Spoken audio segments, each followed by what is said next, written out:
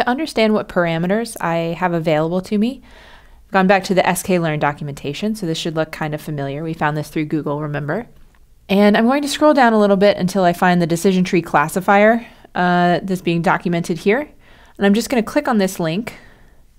And this takes me to the specific page that's about the decision tree classifier. And this this box right here is what I'm looking for. This is going to tell me um, all of the parameters that I have available to me when I'm creating my classifier.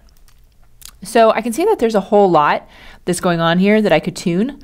Uh, there's something called the criterion, there's a splitter, there's um, max depth, there's minimum number of samples in the split, minimum samples in the leaf, and so on and so on.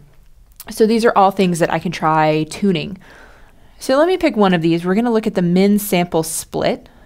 We can see if by training the min sample split, maybe we can alleviate some of that overfitting that we were seeing in the example that I just showed you. So here's what min sample split does. Say I have my decision tree. Start out with a bunch of training examples and then I start to split them into smaller subsamples. At some point I have to figure out uh, if I'm going to keep splitting any further. So for example, if I start out with 100 examples here, then maybe I get 60 and 40, then maybe I get uh, 40 and 20, and then maybe this 20 turns into 15 and 5, and so on and so on.